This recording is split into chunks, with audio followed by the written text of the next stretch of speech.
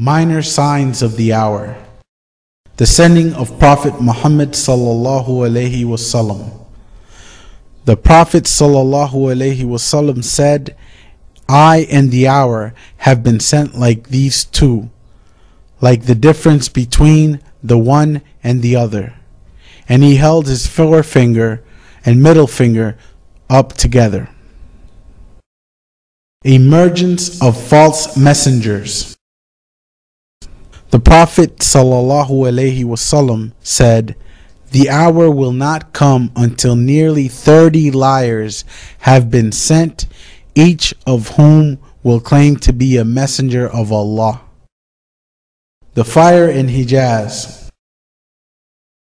The Prophet ﷺ said, The hour will not come until fire comes out of the land of Hijaz and illuminates the necks of the camels in Basra.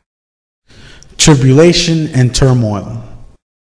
The Prophet ﷺ said, Just before the hour, there will be tribulations like patches of dark night. There a man will be a believer in the morning and a disbeliever in the evening. Or he will be a believer in the evening and a disbeliever by morning.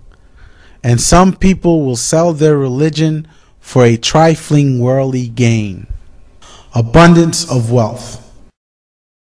The Prophet ﷺ said, The hour will not begin until wealth increases among you and becomes abundant, such that a wealthy man will be concerned about whether anyone will accept charity from him.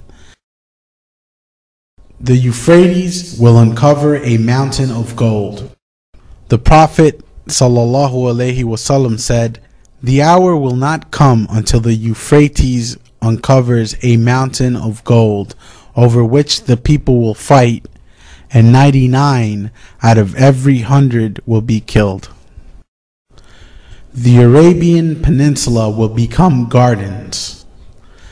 The Prophet ﷺ said, The hour will not come until the land of the Arabs becomes gardens and rivers once more. The new moon will appear larger. The Prophet ﷺ said, Among the signs that the hour is close will be that the new moon will appear larger and it will be said that it is two nights old. Sudden death. The Prophet ﷺ said, Among the signs that the hour is close will be that there will be sudden death. Naked shepherds will compete in building lofty structures. The Prophet ﷺ was asked about the signs of the last day.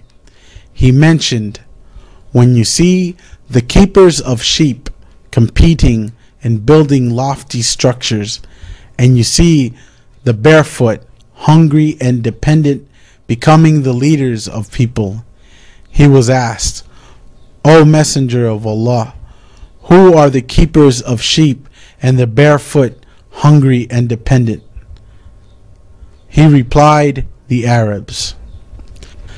Ibn Rajab said in his commentary, What is implied is that the control of affairs will be given to those who are not qualified for that. When the barefooted, naked shepherds, who are ignorant and rough people, become the leaders of people and so wealthy that they compete with one another in building lofty structures. This leads to corruption in both religion and worldly systems. Prevalence of ignorance.